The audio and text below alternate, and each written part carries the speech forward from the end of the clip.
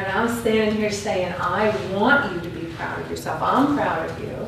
I want you to be proud of yourself. I want you to be able to stand up and say, I do feel strong and I'm all deeped up and I feel great about myself.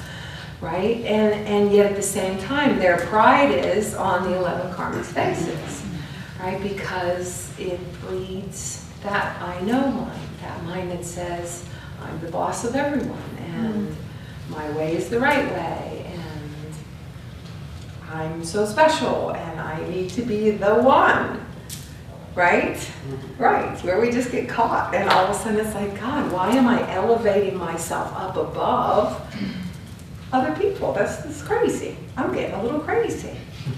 Right? And you do it without even realizing you did it. All of a sudden you're up there on your own self-constructed pedestal. Mm-hmm. That's hard up there.